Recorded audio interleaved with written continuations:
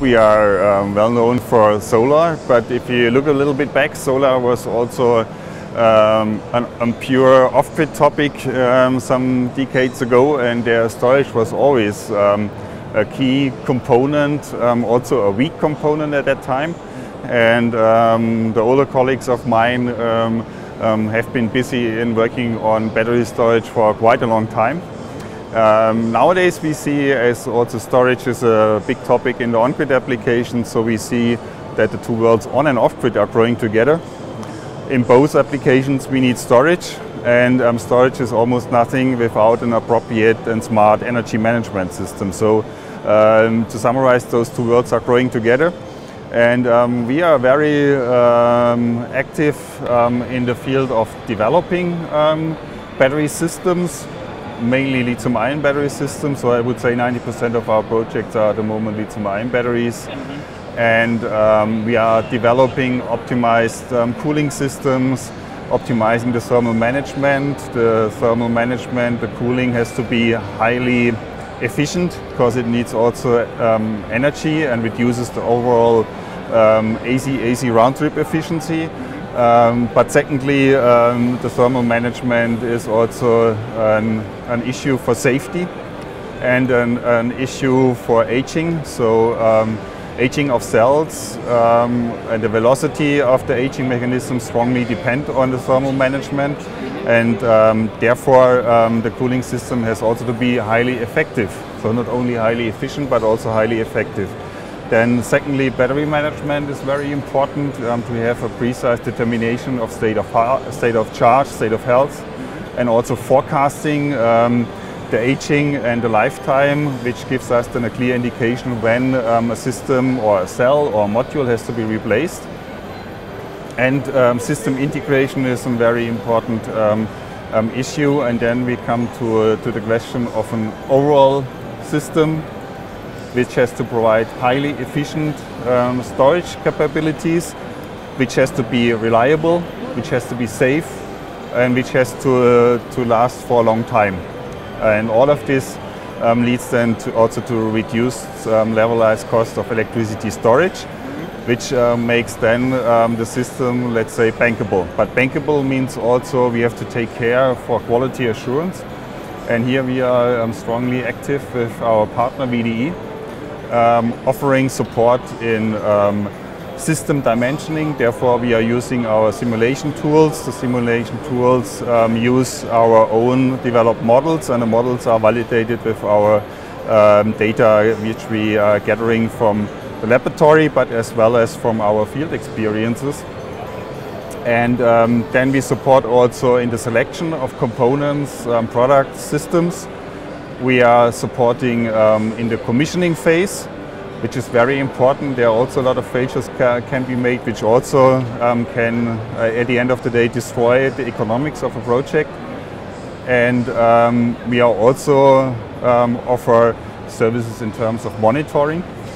Monitoring is very important as um, for new technologies, as we do not have long-term experience with lithium-ion batteries um, in the, in the, in the stationary application and also in the electromobile application.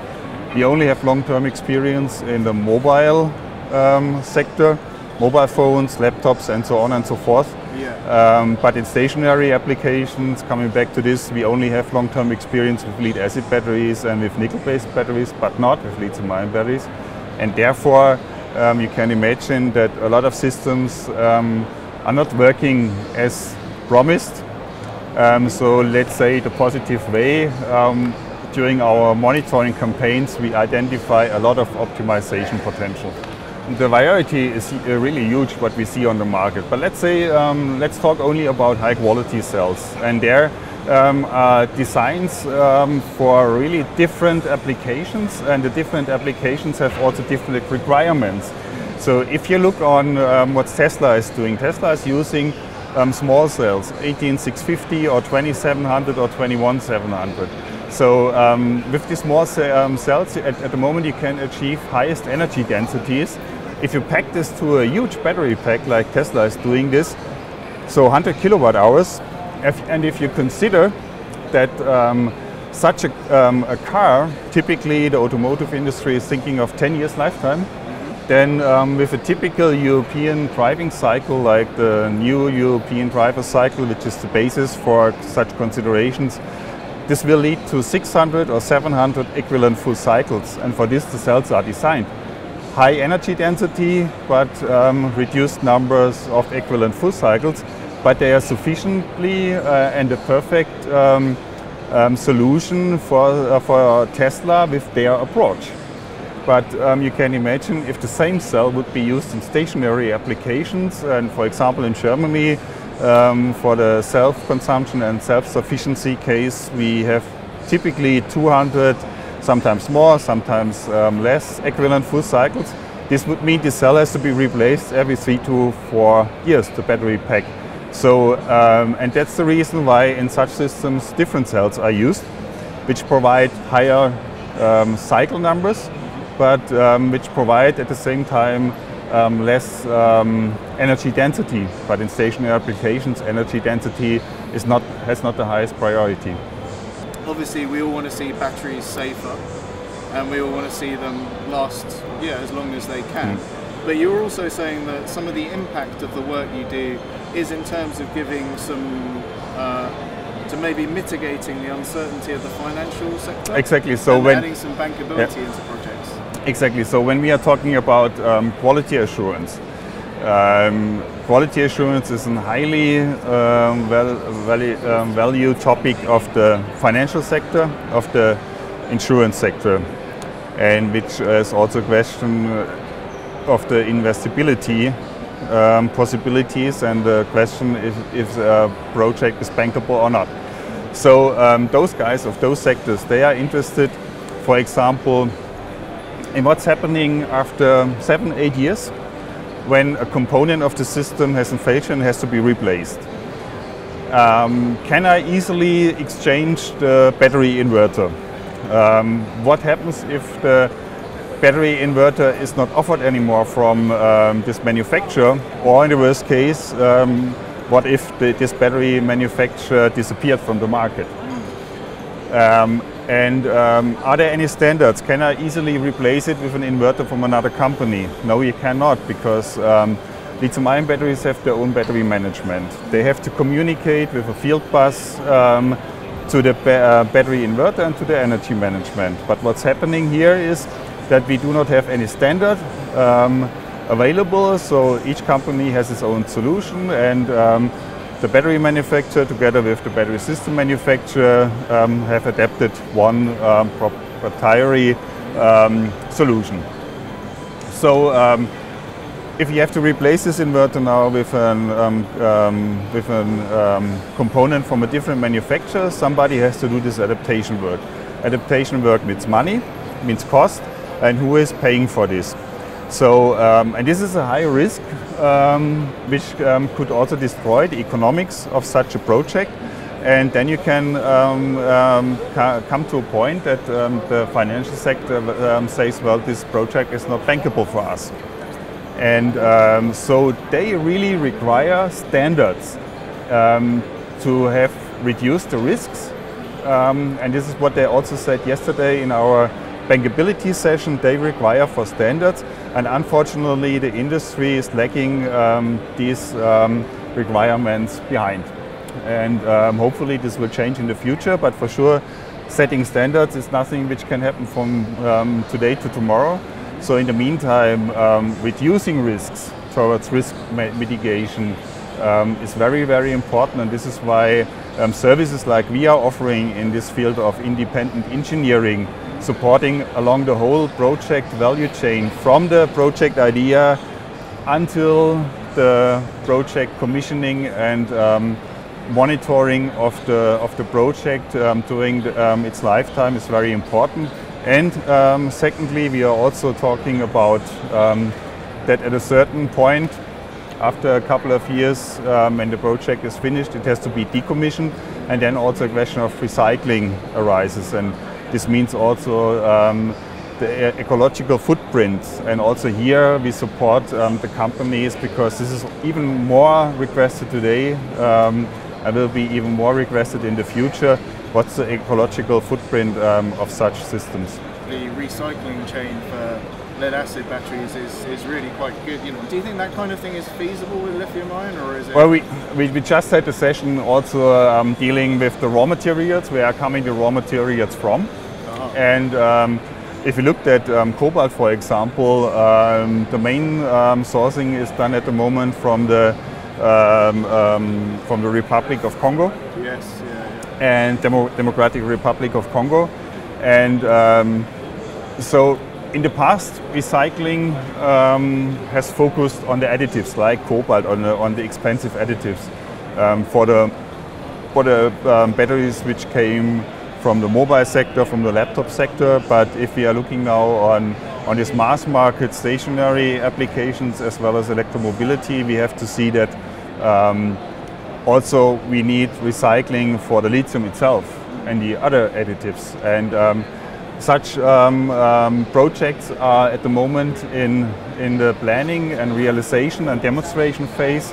Um, it's still uh, kind of also um, a, a, topic of research and development. So Partner Institute of our Fraunhofer Society is working strongly on this, um, but also the industrial sector. And I would say it's only a question of time. And here we are talking about short-term um, time frames that we see also recycling capabilities in the market.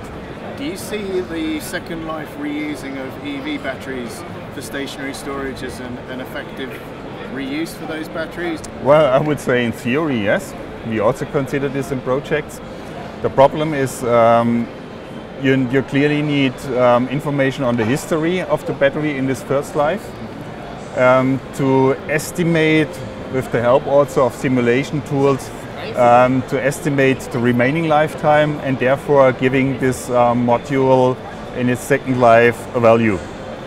But secondly, it has also to be adapted to the um, components, um, to the other system components which are used in the stationary sector, to the battery inverter. And this might look a little bit different than the power electronics inside an electric car, the onboard charger, the offboard charger, and uh, the converter to the, uh, to the motor, to the electromotor. So again, there's also adaptation work, and I would say um, this could be um, combined with such high cost that um, it's not um, economic justifiable um, to go into this direction. Maybe um, also, um, let's say, if there are some interfaces where, for example, the car company do not want to provide to second use applications and the providers of the second use applications, this could be an additional problem. So maybe um, the car companies themselves, they're using those batteries, for example, for stationary um, applications um, in fast charging stations where we also need a buffer. Um, otherwise, we would affect um, the, the, grid too much. So maybe this could be a solution. But um, to be a little bit proper, no, to be a little bit harsh in, in argumentation. I would say the car industry, the OEMs, they like Second Life at the moment very much because then they do not have to take care for recycling because they're selling um, those batteries to another company and they have to take care afterwards for the recycling. Maybe. Are there any sort of real big trends that you've seen at this show that you think hmm. uh, worth? Well, um, I would say um, um the show uh, shows a lot of home storage solutions because we are in Germany and in Germany um, um, residential applications is a huge topic, self-consumption, self-sufficiency and hopefully with the change in our regulatory framework also commercial systems will be a big topic which is internationally in the US and um, also utility scale um, offering primary control power in Italy, in England, also in Germany um, but um, primary control power market is limited. So um, after home storage and commercial storage for self-consumption and self-sufficiency, the next step will be big storage um, systems in combination with renewable power plants like PV parks, like wind parks, um, which is um, internationally already done, like in China and the US. And this will come up in Europe as well in the near future. They are really convinced. Um, but um, again, we need also those commercial storage systems um, installed in supermarkets together with a PV system on the rooftop and um, together with, um, um, for example, for bakery production lines, an ideal case because they're producing at night, the sun is shining a day. Ideal case for, for storage but there the regulatory framework has to be adapted as well as for district storage and those are capacities which can do them more than only storing solar electricity. They can then be used additionally to offer grid services and have, have then the possibility to get um, some additional revenues. And this could be an interesting case.